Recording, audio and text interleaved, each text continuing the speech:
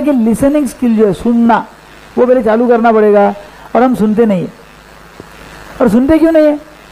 हम सुनते इसलिए नहीं है क्योंकि नंबर एक, हमारे दिमाग में ऑलरेडी एक बारीक आवाज़ में आवाज़ चालू है।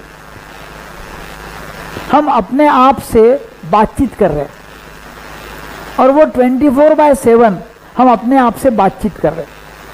अब आप बोलेंगे, बातचीत कौन सी है? कौन सी बातचीत कर रहा हूँ मैं मेरे से। क्या बातचीत कर रहा हूँ? मैं तो कुछ नहीं बात कर रहा हूँ। तो देखिए आप आप कौन सी बातचीत कर रहे हैं? तो आपला आपल्याशी आपण आपल्याशी बोलत असतो ट्वेंटी फोर बाय सेवन, चालू रहता है। और जब अपना आपसे अपने आप से हम बातचीत करते हैं तो सामने वाला क्या बोल रहा है, ये सुनाई नहीं आता। क्योंकि अपने आप से ऑलरेडी आवाज़ चालू है दिमाग में। जब दिमाग में आवाज़ चालू है, कुछ ना कुछ तो फिर आप जो बोल रहे हैं, मैं कैसे सुनूँगा कि ऑलरेडी यहाँ एक भोंगा चालू है अंदर।